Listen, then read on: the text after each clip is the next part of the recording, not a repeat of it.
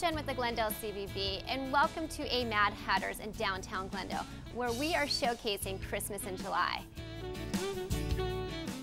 We have Santa Claus visiting with kids making a special appearance. We also have Cerreta's, who is here on site with Marissa and the kids working on chocolate Christmas trees.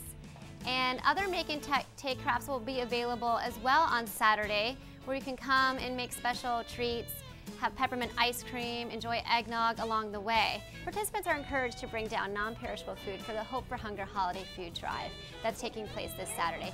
In addition, the Glendale Car Cruise will be hosting a special Yarnell firefighter fundraiser for families. So come out and check out the raffles and t-shirts that are being sold as well. Start at the Glendale CVB and you will pick up a map, a list of participating merchants, as well as a chance to spin on the holiday prize wheel. I want to bring in Ray.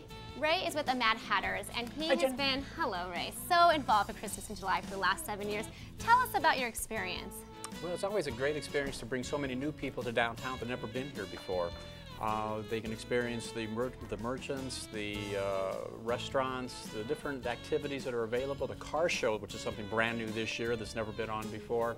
Uh, just a lot of great experiences that they can have for hopefully the first time. And a lot of times we get people coming back, they go, we'll see you again, we'll see you again. And it's just been fabulous. Thanks, Ray. We hope to see all of you out here in downtown Glendale this Saturday.